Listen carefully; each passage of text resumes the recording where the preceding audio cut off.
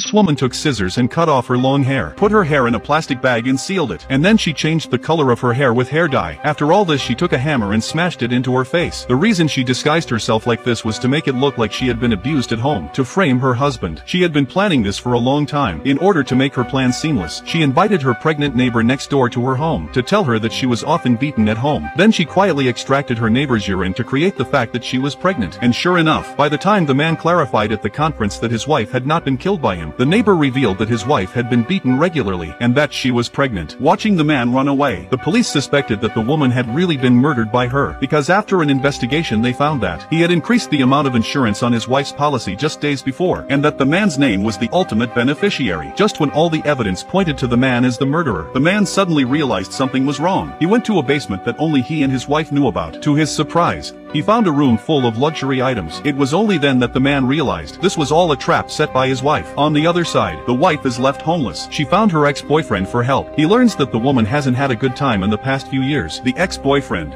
out of the goodness of his heart, took the woman to his big house in the suburbs and told her that it was very safe. Every corner of the house is monitored. No one will ever find you. And so the woman settled in safely. He thought that as time went on she would forget all the bad things that had happened to her. But one day while watching television, she suddenly found the man on TV, and he was full of confessions about the mistakes he had made. The woman was shocked to see the scene. Watching the man finally rectify his mistake, the woman decided it was time to return home.